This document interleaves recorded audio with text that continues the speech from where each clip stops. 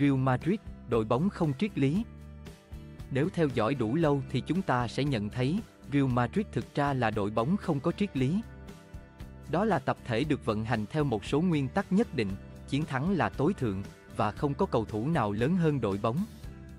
Thứ bóng đá duy nhất mà họ hướng đến là bóng đá chiến thắng. Còn nói theo kiểu dân giả thì ở Betmaber, chiến thắng là điều quan trọng duy nhất. Trong buổi họp báo đầu tiên khi mới trở lại đội tuyển Đức, Tony Kroos từng nói rằng Diamond Sắp cần học hỏi tinh thần chiến thắng của Real Madrid. Tiền vệ này nhận xét, bóng đá ở cấp đội tuyến quốc gia khác với câu lạc bộ, nhưng có một vài điều chúng ta có thể học theo Real Madrid. Đó là tâm lý bước ra sân để thắng mọi trận đấu và không chấp nhận điều gì khác. Sau chiến thắng ở Etihad, Jude Bellingham cũng nhắc tới thứ winning mentality ấy trong màn trả lời phỏng vấn ngắn với TNT Sport. Và thắng lợi này chắc chắn là một trải nghiệm lạ lẫm nhưng thực sự tuyệt vời với tiền vệ người Anh, người từng là nhân chứng của cú sẩy chân kinh điển của Dortmund trong cuộc đua vô địch Bundesliga với Bayern Munich mùa trước. Vậy chính xác thì thứ DNA chiến thắng của Real Madrid là gì? Sau trận, một clip meme hài hước dài 15 giây đã lan tỏa trên khắp các nền tảng xã hội. Trong đó, một nửa là hình ảnh Pep Guardiola điên cuồng giải thích về pressing, chiến thuật, kiểm soát bóng và phản công. Nửa còn lại là cảnh Carlo Ancelotti ăn mừng trên xe bus diễu hành trên phố cùng các cầu thủ Real Madrid, kèm chú thích sức mạnh của tình bạn.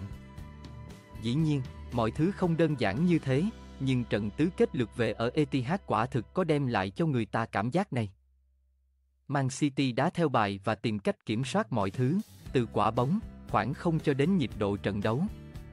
Trong khi đó, ngoài tình huống phản công chấp nhoáng dẫn đến bàn mở tỷ số, Real Madrid đã lâm vào cảnh phải chống trả suốt gần 120 phút thi đấu chính thức.